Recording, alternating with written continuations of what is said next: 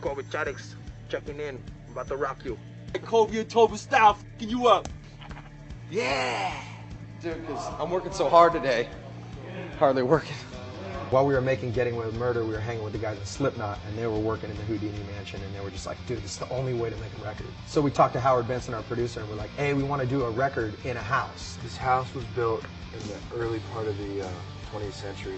Definitely has that kind of spooky, classy, dark, just sexy vibe to it.